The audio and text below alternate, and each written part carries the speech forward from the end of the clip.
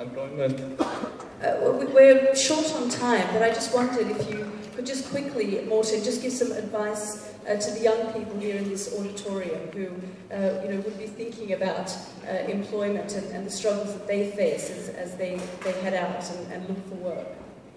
Well, there are probably people who are closer to that than, than, uh, than, uh, than us from, from my organization, but in terms of, have faith.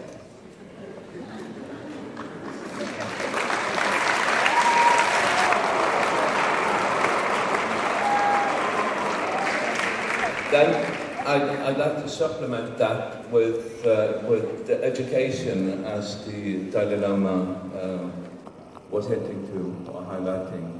Uh, a third element is, is obviously to push on your government. You know, there has to be a pressure mounted to all governments. All governments have to sort of feel obliged to, to, to do something here uh, with this. Uh,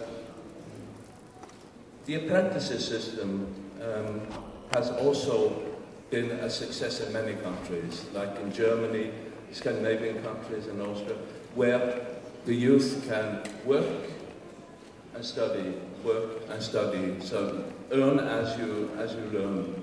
So I, you know, if there's anything I would wish, uh, it would be that there is a a global and universal youth guarantee enabling youth to get out and work. The secondly is that there has to be level playing rules. The way we've seen the globalization now is that it's been very uneven.